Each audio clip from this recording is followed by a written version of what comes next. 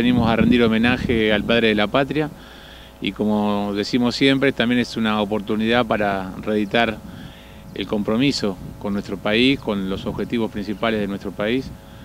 Así que bueno, con, todo el Ejecutivo, con, Cristina en representación del Departamento Legislativo, haciendo este merecido homenaje que debe ser permanente por cada uno de, nosotros, y más en esta circunstancia que como decís vos también, son tan especiales y tan particulares a nivel nacional.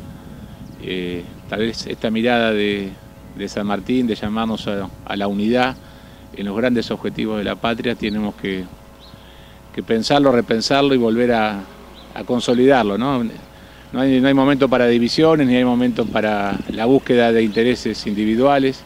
El país nos necesita unidos y bueno, desde nuestro lugar, desde General Las Heras, hacemos nuestro aporte.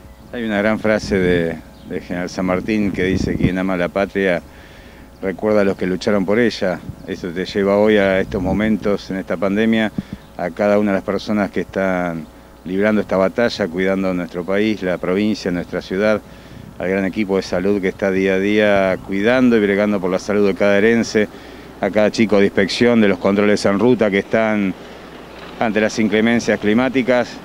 Hay, hay un equipo de desarrollo social de la, Secretaría de, Servicios Públicos, Consejo Escolar, toda la parte educativa, pero bueno, eh, ya llevamos más de 150 días, quiero agradecer el compromiso de los vecinos, de los comercios que han entendido esta situación, tantas batallas que libró don José San Martín, es una batalla que estamos librando el pueblo argentino, el mundo entero, y yo creo que la Ceras unida, con el compromiso de cada uno y la responsabilidad de cada uno de los vecinos, eh, la Ceras va a salir adelante.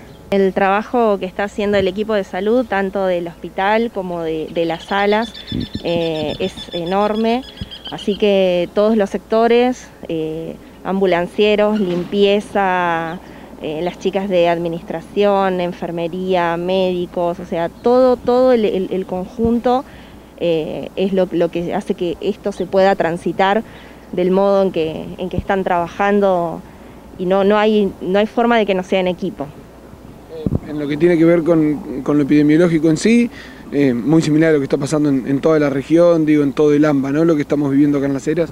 Sí, formamos parte de esto, tenemos eh, mucho movimiento de personas, muchas personas que, tienen que trabajar y que están, eh, son personal esencial y de tareas exceptuadas, así que nosotros estamos en, AMBA sufriendo lo mismo que sucede en, tanto en AMBA como en el resto del país.